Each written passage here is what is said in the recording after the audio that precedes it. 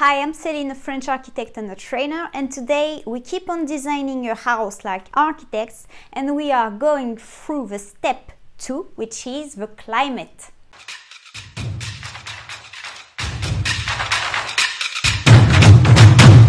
In the previous video, if you haven't seen it, I was talking about the orientation and light. Today we're gonna see the climate. It's really important as good architect to consider the climate before even designing your house. Why? Because whether you are building in a tropical climate or in a hot climate, you will um, you will need to satisfy different conditions in order to permit people to live in a comfortable way.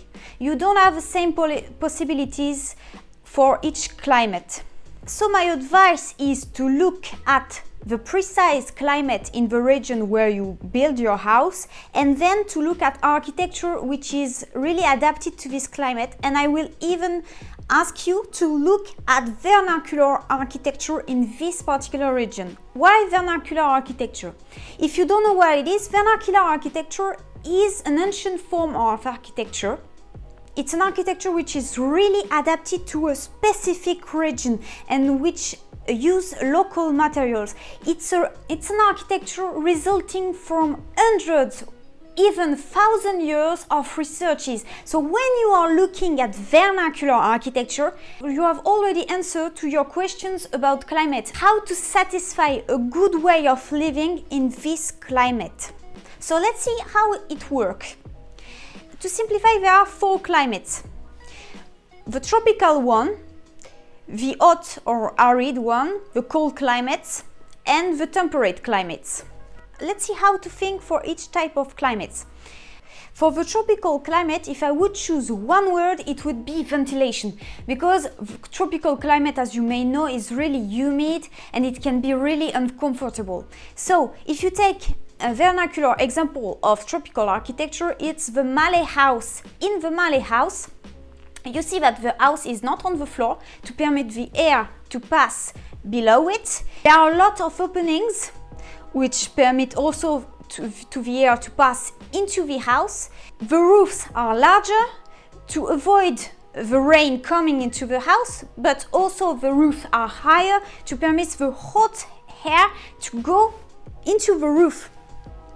If we take the hot or arid climate, the word that I would choose would be cooling it's really important to cool all the spaces. So if you look at the architecture which is really adapted to this kind of climates, there are quite always some patios or courtyards in the house because if you put a courtyard or and if you put a pool in it or a tree it permits to cool the air and to restitute the air into the house so take an if we take an example of vernacular architecture in this climate, it would be the Halawa house in Egypt.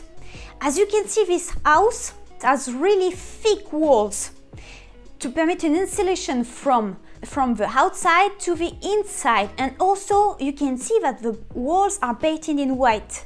Why? Because the white colors permit to reflect the sun rays and there are really little openings to avoid again the heat from entering into the house.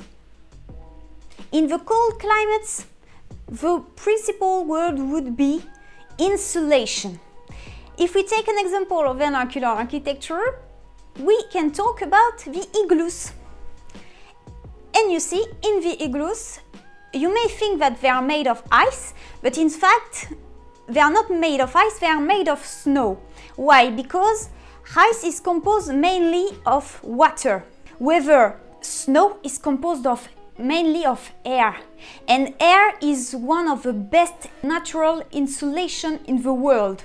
Also in the igloos, the walls are really thick, again, to permit a better insulation. In the temperate climates, uh, the these climates are not so extreme. I would choose the word mix to define the architecture which is adapted to, to this kind of climates because in uh, temperate climates you have the Mediterranean one, you have continental one which are um, dry but cold and also hot sometimes. And you have also the oceanic and cold uh, climate in the Nordic countries. So if we take some example of vernacular architecture in temperate climates, we can uh, talk about the Roman, the antique Roman house, which as you can see was composed of a courtyard, like uh, in the Arabic house. Or we can take the example of a Viking house. The Viking house is composed of, of some really thick wooden walls to permit a good insulation. To finish, I would like to say that I've noticed on Facebook mainly that many students and architects uh, in Africa, for example, design houses like in Europe. And I think it's really unfortunate. First, because uh, in Europe you have not the same climate, so I think it's not really logical if you are in a tropical climate. And secondly, because I think we should be proud of our origins and our vernacular architecture. In Africa, for example, they have, in some countries, they have developed great construction technique with mud, and it seems like many architects have forgotten this technique.